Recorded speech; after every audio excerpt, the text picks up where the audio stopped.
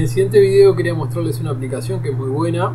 Si bien se puede utilizar, este, por ejemplo, la información del sistema que aparece en Windows, si tenemos el sistema operativo Windows, esta herramienta es muy fácil de utilizar y también se puede bajar gratuitamente. Aquí les voy a mostrar, vamos a la página, ponemos CPUZ en cualquier buscador, en este caso estamos usando Google, y aquí nos aparece CPUZ, CPUZ Software, abrimos aquí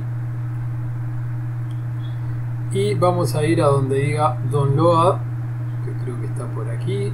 Aquí donde dice setup english aquí pueden ver que estamos en la página. Y vamos a donde dice entonces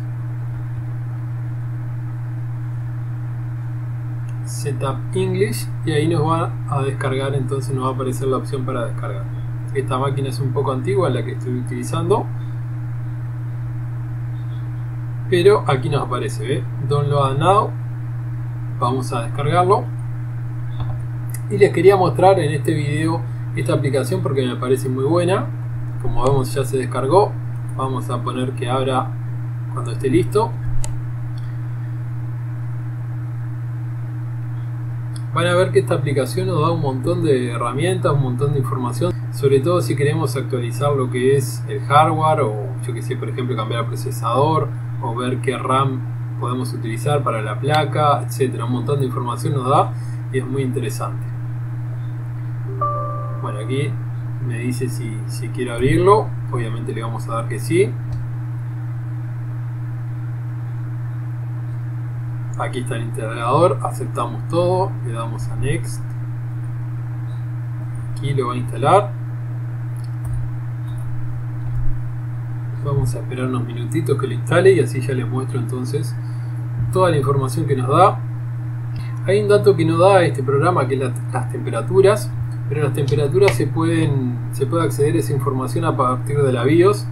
Cuando ingresa a la computadora apretamos del, generalmente en las computadoras y aparece lo que es, entramos a lo que es la BIOS y en la información de la BIOS se puede ver las temperaturas. Si no hay otros programas también gratuitos que pueden descargarse.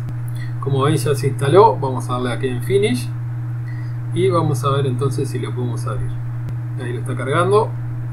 Recuerden que lo estoy utilizando en una máquina bastante vieja y bueno por lo tanto va a demorar un ratito puede demorar pero me parece interesante.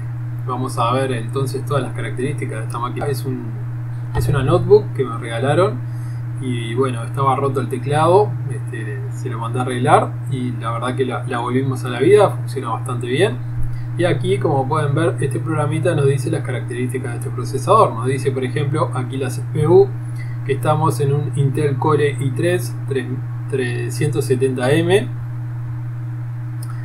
bueno aquí está el código eh, la tecnología de 32 nanómetros. La especificación dice Intel Core i3 CPU M370 2.40 Hz el modelo 5, aquí hay un montón de datos, algunos son muy técnicos que la verdad yo no los entiendo, pero para la gente que sepa este, es interesante. El mainboard, o sea, lo, que es la placa madre, supongo, aquí nos dice PCI Express 1.0. Aquí pueden ver Manufacture Hewlett Packard, o sea, el, que lo creó fue Hewlett Packard, que es HP, HP Hewlett Packard. Este, el modelo 1435 como pueden ver tenemos un montón de información que nos puede servir a la hora de tener que actualizar un software, ¿no? La BIOS, aquí tenemos la versión de BIOS que tenemos F.26, aquí está la fecha, 2 del 14 del, 2000, del 2011, bueno, y de Hewlett Packard, la memoria que tenemos, tenemos 4 GB de DDR3. Esta información es importante porque, por ejemplo, si quisiera actualizar esta máquina, tendría que comprar memoria RAM del tipo DDR3. Ya sé que no me sirve entonces, por ejemplo, de DDR4. Utilizaría el de DDR3. Por ejemplo, esta máquina yo la llevé a un servicio técnico para agregarle RAM. Incluso pregunté antes si se podía agregar RAM, me dijeron que sí. Y bueno, después que la llevé al servicio técnico me querían cambiar todo, el disco duro, etcétera, y cobrar una, una bestialidad. Y por lo tanto le dije que no hiciera nada porque ya vi que me querían entonces, me querían robar básicamente y bueno, siempre les recomiendo entonces que pidan presupuesto antes de hacer las cosas. Y de última la hacen ustedes, que averigüen en varios lados, porque muchos, muchas de las casas de informática, lamentablemente, si te pueden pasar, te pasan. Por ejemplo, yo la otra vez fui a comprar la pasta térmica y pregunté en una casa de la memoria RAM para comprar un módulo simplemente de 4 GB y me querían cobrar por un módulo de 4 GB de DDR3, me querían cobrar el equivalente a dos módulos de 8, o sea, una bestialidad. Pero siempre, siempre si te pueden pasar, lamentablemente en las casas de informática son pocas las excepciones. Yo tengo algunas casas que sí, que sé que son bien.